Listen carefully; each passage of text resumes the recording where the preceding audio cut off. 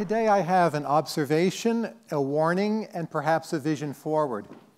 The observation is that we Americans aren't nearly as innovative as we like to think we are, especially in recent times. There's an anecdotal version of this argument and a statistical version. But let me start with the anecdotal version of the argument. If I think of the life of my grandmother, who was born at the very beginning of the 20th century, when she was born, most Americans lived on farms. About 6% of us graduated from high school. Cars were by no means common.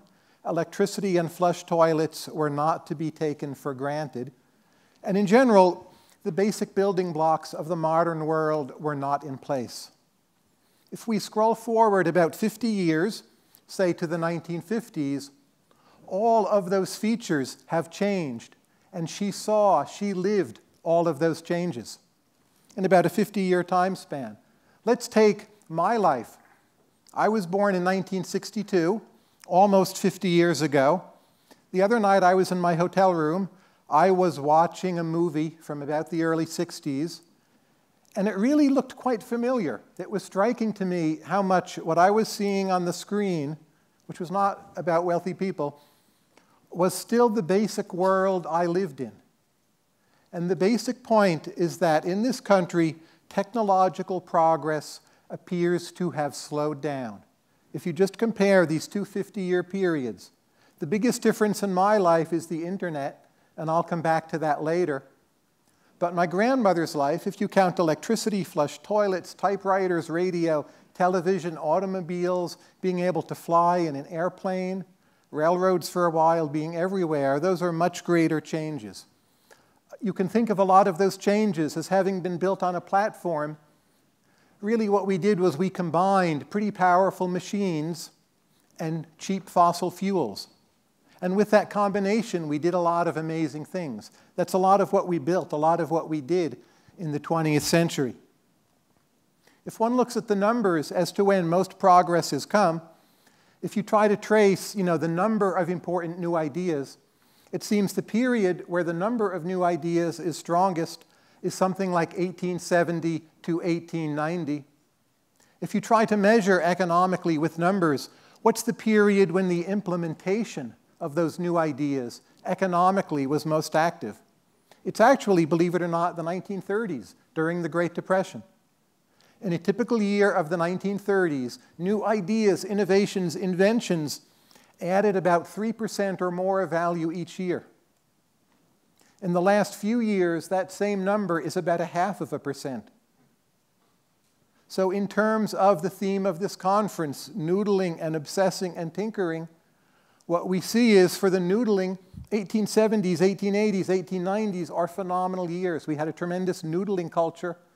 A lot of it was amateurs, not necessarily professionals. And in terms of implementation, the rate of implementation was actually highest in the 1930s, not in our last decade.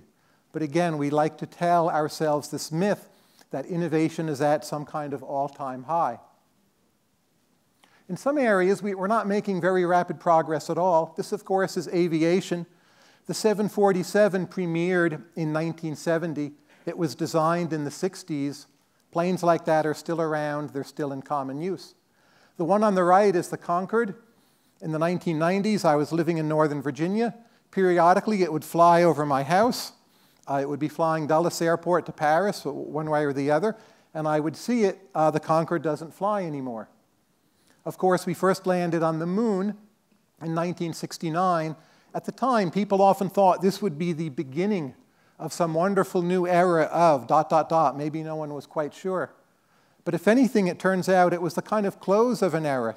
It was the like final capstone achievement of this massive burst of 20th century noodling, tinkering, obsessing, innovating, and implementing. If you go back and you read people in the early part of the 20th century, even the middle of the century, they all have a common prediction that in the future, transportation will become so much faster. It's one of the most common early predictions about our time uh, not just for people who live in Midtown Manhattan, uh, but for most of us, transportation hasn't become faster. The planes we actually fly in are not notably, noticeably faster from when I was a kid. Uh, we're not exploring space. And uh, in most parts of this country, traffic jams are becoming worse. Uh, we do have a lot of innovations of some kind, and we need to be very careful with this word innovation. We are, in some manner, incredibly innovative. What we're not doing at a rate comparable to that of the past is coming up with innovations that significantly improve the lives of ordinary Americans. So if you think here, uh, here's two toilets. They both actually do, do more or less the same thing, as far as I can tell. Uh, one of them is an innovation. Someone must have wanted that, right? I don't doubt they got some pleasure from it. But essentially, we're, we're moving from a world where what was invented and implemented was the flush toilet to what was implemented is some quote unquote advantage over the flush toilet. In fact, I live in a house which dates from the 1950s. Uh, I'm not sure when the bathroom was put in. It looks like it's probably still from the 50s. Maybe it was improved in the 60s. And it actually seems to work. We've been in the house eight years. It still works. We have a kitchen, most of which is from the 1950s. Our microwave is now more or less broken. I reheat things some other way. Again, I cook in that kitchen just fine. The basics of the modern kitchen have been in place for quite a while. Now, here's the wonky economist part of the talk. This is a numerical graph, and let me just explain what this graph says. It is, to me, a pretty startling numerical point. It's showing you pretty rapid economic growth after World War II. And if you went back earlier, you would see the same pattern pretty rapid economic growth in this country. And then after 1973, for some reason, that growth very much slows down. So if we take the time since 1973 and we look at the earnings of a typical American family adjusted for inflation, since 1973, they have gone up about 20 to 25 percent. And in the last 10 years, the earnings of the typical household actually have gone down slightly. We are a much wealthier nation. There are some people who are earning much more. But if you ask the basic question, are we seeing the same massive improvements in technology which give rise to massive improvements in the life of the ordinary person? This graph is placing that in doubt and it's also showing the gap of that loss. So if we had somehow been able to replicate our earlier rates of growth, today the typical household, instead of earning about $50,000 a year, would be earning about 90,000 a year. That's a big gap. It's the difference between 50,000 and 90,000. Now we can ask a philosophic question. You know, you think about these numbers, like how, how pessimistic, how sad should we get? It's a difficult question. I'm actually not a pessimist by nature, although I may sound like one sometimes. There are many things about today's world that are better. There are many ways in which we're more tolerant. If you think about New York, crime rates are lower. So the point is not to say the world is worse. It's not. Uh, it's getting somewhat better. But still, there is some gap in income. Typical incomes are only going up the slight amount rather than the larger amount. There's also somewhat of a gap in jobs, and we can think of that as a very clear economic problem while recognizing other forms of progress. You also might be wondering, what is it that happened in 1973? You know, is Richard M. Nixon to blame for that also? And I don't think so. A few different things happen around this point in time, and it's hard to trace out exactly how important they each are. One thing that happens is that over time, our economy becomes more heavily invested in healthcare and education, which is natural, but it's usually harder to raise productivity in healthcare and education. When people are very sick, making them better again, it's very difficult. It costs a lot of money. People who don't want to learn, teaching them is very difficult. I won't even say it costs a lot of money. I'm not even sure it's possible. So the more your economy is moving into those sectors, arguably the slower the rate of progress will be. But I think another major factor is simply that at this time we had exhausted a lot of previous technological wondrous ideas, like cars. There is today no flying car. So your car has a better sound system, it has a side airbag, it has GPS, it's all nice, those are real gains. But they're nothing like getting a car compared to not having a car. So we're at this temporary technological plateau. Another possibility, and this is more speculative, but I personally believe it's true, though I cannot show it to you with any numbers, is if we go back to the theme here of tinkering and obsessing and noodling, I think a lot of knowledge has become so specialized that it's very hard to tinker with the whole. People are tinkering with parts. It's very hard to understand the whole. Even something simple like a pencil or a toaster, how is it made? How much of that process can one person do or understand? Not that much, it's very specialized. So if people are grasping only things at the margin, we're getting innovations at the margin, we're getting a lot of new ideas, but they tend to be intensive new ideas at the margin, which are small changes, and that's because of the very nature of the creative process where we are at right now. Yesterday, someone asked me, you know, do I, do I think globalization has a role to play in this? Uh, I don't have a slide for it. If you want, you can stare at the globe here. Uh, but I think that's very much an overrated culprit. Keep in mind, the slowdown starts in 1973. It's well before globalization gets started. And it does continue, but you could argue we don't have enough globalization. We're not getting enough ideas from the scientists of other countries. Keep in mind also some of the more stagnant sectors, like education, like healthcare. Those are problems that have little or nothing to do with globalization. So if US education is not progressing as rapidly as we would like, there are no foreigners to blame for that. It's not because of outsourcing or international trade. The problem there really lies with us. So I tend to discount globalization as a force. If anything, globalization in the future will probably help us when China reaches the technological frontier and we are taking new ideas from China. We're not there yet. If you look at healthcare, we also find a slowing down of the rate of progress. So before 1950, you get vaccinations, you get antibiotics, you have big declines in infant mortality. Life expectancy falls at a rate three times more rapid than after 1950. And again, that's nothing to do with globalization. Education. When did the high school graduation rate in this country peak?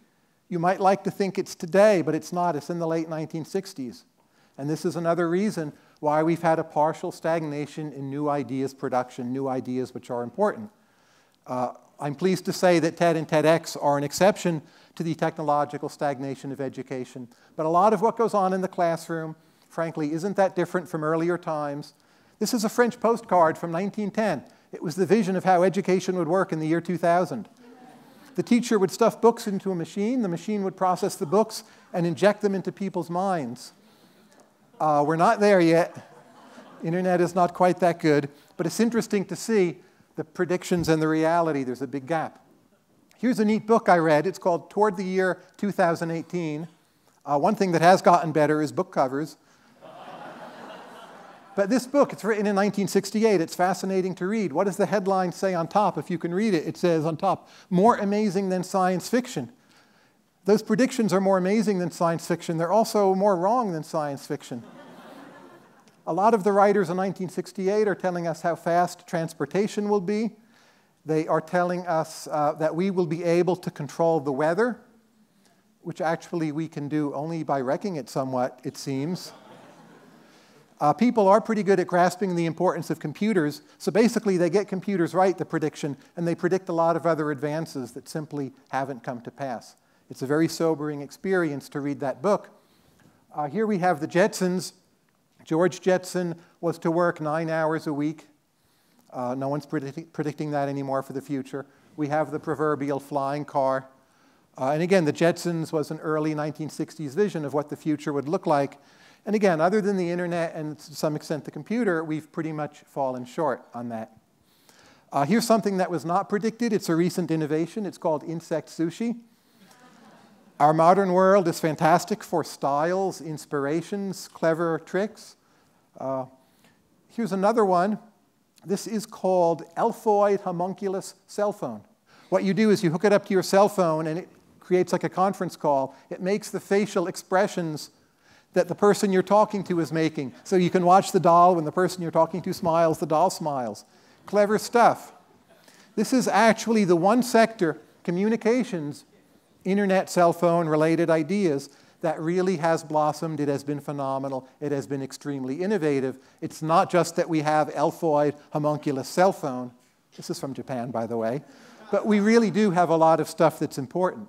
But when you add up the economic value of what we have, it turns out it's really not close to closing that gap I mentioned before between the $50,000 a year income for the typical household and the $90,000 a year income that we would have had with previous rates of progress had they continued.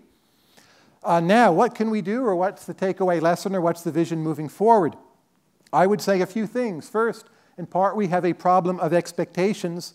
We think we're remarkably innovative, and we would do better in some ways with our spending and borrowing decisions to have more modest expectations of how creative we really are. That's one point I would make. In terms of fiscal policy, we need to be very worried about our budgets, public sector and private sector. What can we do to change this? I think in the short run, there's not a silver bullet. If there was, we would be doing it. But what I see in earlier periods of time, but not so much today, is that this notion of an extreme reverence for science and scientists is weaker in the United States than I would like. And respect and reverence for people who teach science and scientists is weaker than I would like. There was much more respect for scientists in the 1960s than there is today. A few years ago, when Norman Borlaug died, one of the greatest scientists of our time, he led the Green Revolution, which saved millions of lives by breeding better crops for India, Pakistan, Mexico. It was on the front page of the New York Times, and then the public forgot about it. That was it. Norman, Norman Borlaug's day was gone. People should have been weeping and wailing in the streets a New Orleans style funeral with millions when Norman Borlaug died, and that wasn't the case. So, in my view, we as a society, we need to be a little more like Caltech. We need to be a little more like Singapore. And no, I don't mean the caning, but in Singapore, there's a lot of respect for science. Uh, a lot of German culture still has the same respect for production, engineering, scientific values. And you might think we can't do this, but we can. It's a free lunch. People who teach scientists and scientists should and can be more like rock stars. We have changed our social attitudes on many issues in the past. Just take, for instance, uh, greater tolerance for gay individuals. There's been a massive change in American attitudes. Can we do it for science? I think we can. We can end on a note of optimism. We have been living in the great stagnation, but there's no reason why it has to continue forever. Thank you all you.